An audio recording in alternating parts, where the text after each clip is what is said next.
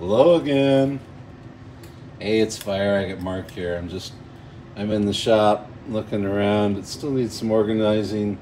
I got you uh, my towels. Let's see, I've got some respirators and some visors. I've got a bunch of rough, uh, some different material. I've got a little ultrasonic uh, tumbler there, um, or cleaner. That's a that's a great thing. So I think I got like Slaughter Mountain, some Mexican, some various bits and polishes. Uh, I got some stones in various stages that still need some work. I've been marking into them. You can see there's, let's see if we can, here's one that, uh, Deer Creek. I'm just going a little bit deeper wherever it's brown, just trying to get rid of that positional color and bring out the brightest. Um, that definitely requires a visor and up close work. Um, let's see. Yeah, these just these need to go a little bit deeper. Here's some more rough, some oops, sorry for that. The lighting. That's terrible. Um, it's a nice piece of Slaughter Mountain here. And you can see some bright greens down in here. Really vivid green right from the top with those bubbles in there. That's pretty. Let's see. Is more Slaughter Mountain. And uh, you can see these layers of purple and green in the stone.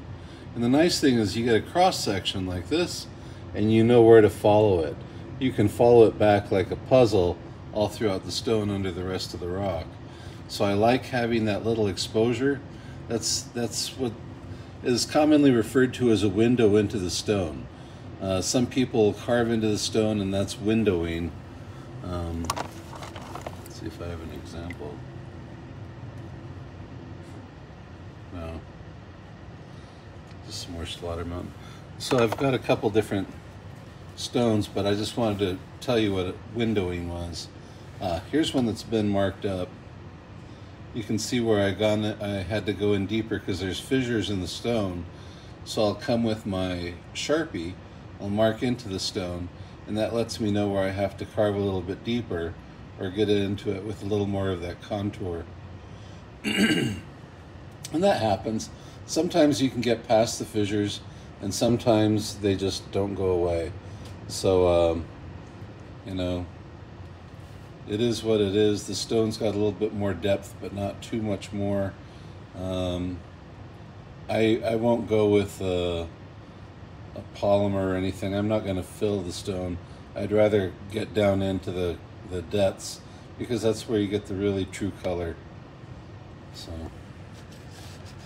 let's see. We've got some, oh, this thing's, the little vacuum, that's kind of nice. It has this attachment at the end and that helps suck up the dust as you're carving.